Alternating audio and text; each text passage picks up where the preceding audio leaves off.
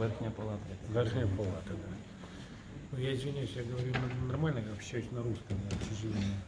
Ну, ну, можно по-русски, но это если общем. Я, я, я разумею да, российскую. Я не думаю, что сколько.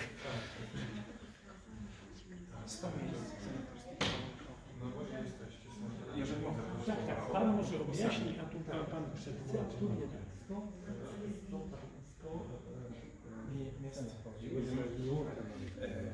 Pana prezydenta zawsze może przyjść.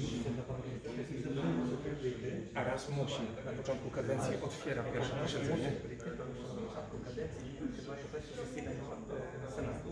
Jest dość mała, więc duża dla rządu jest tu w tym narożniku.